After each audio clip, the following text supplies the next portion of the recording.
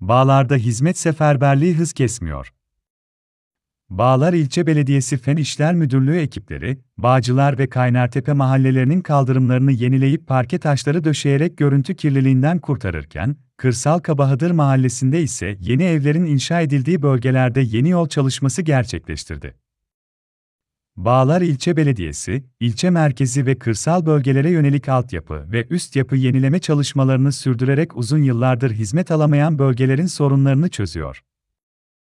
İlçe merkezinde yıpranarak kullanılamaz hale gelen kaldırım ve ara sokaklar tek tek tespit edilerek belediyenin imkanlarıyla yenileniyor. İlçenin gelişen yüzü Bağcılar Mahallesi'nde birçok kaldırım ve ara sokakta ilk kez parke taşı döşeme çalışması gerçekleştirilirken, Kayrantepe Mahallesi'nde bozulan parke taşları sökülerek yenileri monte edildi. Kabahadır Mahallesi'ne yeni yollar kazandırıldı. Kırsal yerleşim yerlerine yeni yol kazandırma çalışmaları da aralıksız olarak sürüyor.